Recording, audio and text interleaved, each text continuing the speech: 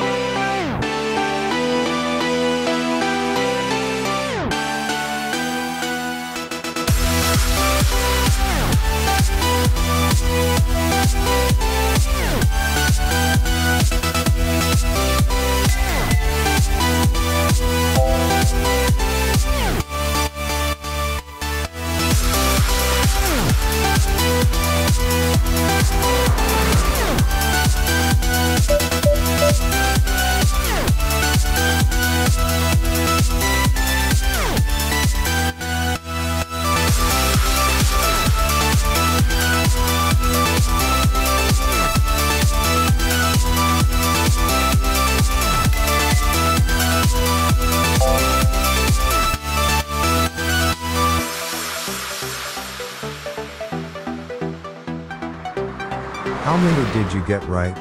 Tell us all about it in the comments below.